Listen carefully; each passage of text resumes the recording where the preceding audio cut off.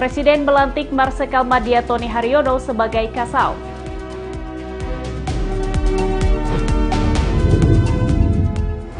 Jenazah dua anggota KKB yang tewas tak dijemput keluarga.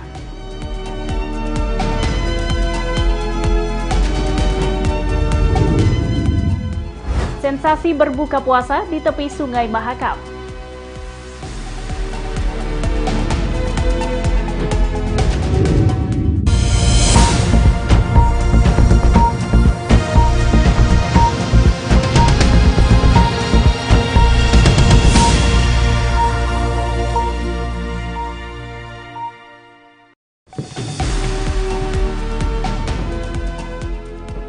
Selamat malam pemirsa, tiga informasi pilihan dari dalam negeri tadi siap kami hadirkan untuk Anda dalam Kilas Nusantara Malam edisi Jumat 5 April. Pemirsa kita awali kabar malam ini dari Istana. Presiden Joko Widodo siang tadi telah melantik Marsikal Madya TNI Tony Haryono sebagai Kepala Staf Angkatan Udara Kasau dan menggantikan Marsikal TNI Fajar Prasetyo.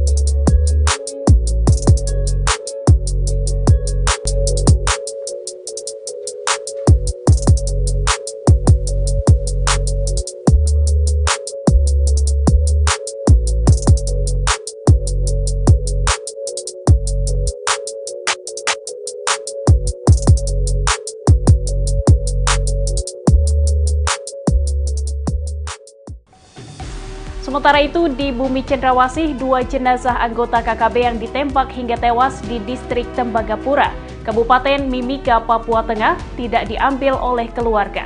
Sehingga Satgas Operasi Damai Kartens memakamkan keduanya.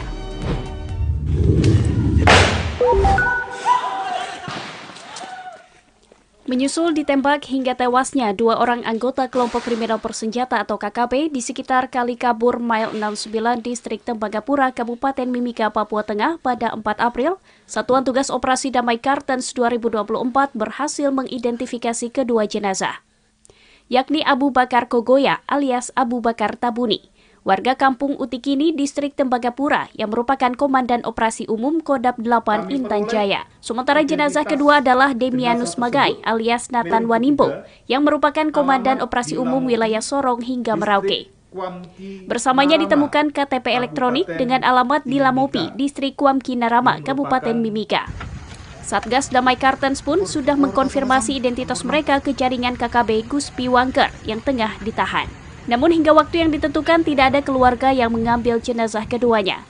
Maka seperti dikatakan Kepala Satgas Humas Operasi Kartens, Ajun Komisaris Besar Polisi Bayu Suseno, di Jayapura, Papua pada 5 April, pihaknya memakamkan kedua jasad itu di Kampung Utikini, Distrik Tembagapura, Mimika.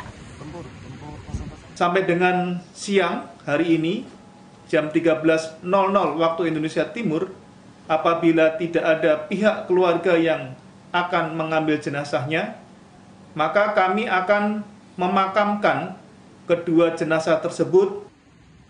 Diketahui Abu Bakar Kogoya terlibat berbagai gangguan Kamtipmas, di antaranya ketika pada 21 Oktober 2017 menembak anggota Brimob Bayangkara 2 Almin dan Brigadir Mufadol di Mile 69. Selanjutnya pada 14 November 2017 menembaki mobil milik PT Freeport Indonesia dan 30 Maret 2020 menembak warga negara asing di alun-alun Kuala Kencana hingga mengakibatkan dua orang terluka. Tim kantor berita antara mewartakan.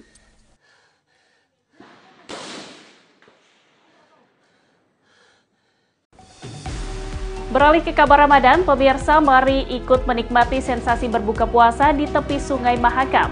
Beragam takjil tersedia untuk Anda cicipi yang tersedia di Mahakam Riverside Market. Buka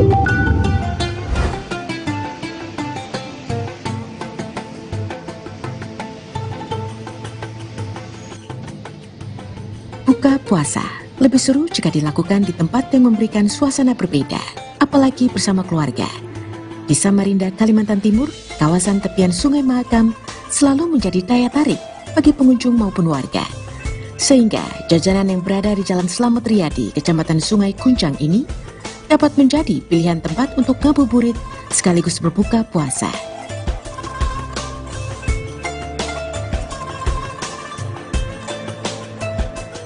Memadukan suasana tepi sungai yang menenangkan, sekaligus deretan gerai kudapan yang beragam, Mahakam Riverside Market atau Marimar merupakan destinasi wisata kuliner favorit di ibu kota provinsi Kaltim itu.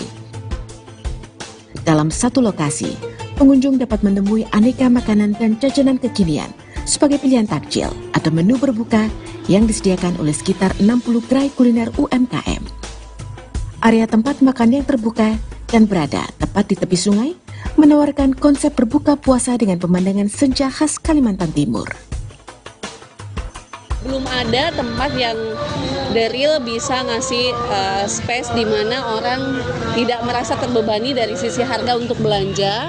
Semua kalangan bisa masuk, baik itu dari anak kecil, menengah, uh, ke bawah, dari pelajar, dari komunitas apa pun untuk uh, punya tempat seperti ini. Nah, dari situ manajemen Marimar mencoba menggarap satu proyek ini untuk menjadi uh, target destinasi yang sifatnya bisa jangka panjang.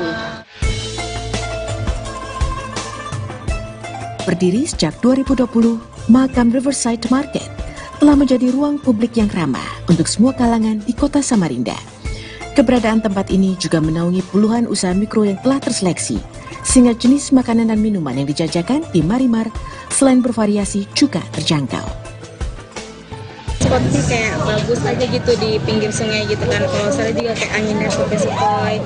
Terus rame, terus juga makan makanannya tuh murah, enak, gitu. tempatnya bersih, nyaman. Gitu. Seneng sih ngerasa nyaman aja gitu.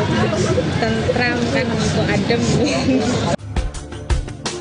Jika tertarik untuk mencoba penganan yang dijajakan dan berbuka puasa di Marimar, tempat ini buka dari jam 4 sore hingga 10 malam. Jika tidak sempat datang saat bulan puasa, tidak perlu khawatir, karena keramaian dan suasana di Marimar tidak berubah meskipun di luar bulan Ramadan. Dari Samarinda, Kalimantan Timur, Hanifan Ma'ruf, Kantor Berita Antara, mewartakan.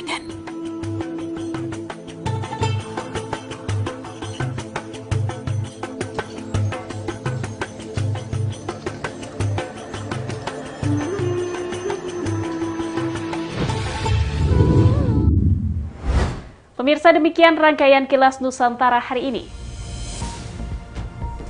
Selamat menjelang akhir pekan dan menuju Hari Raya Idul Fitri yang tinggal menghitung hari. Sampai jumpa.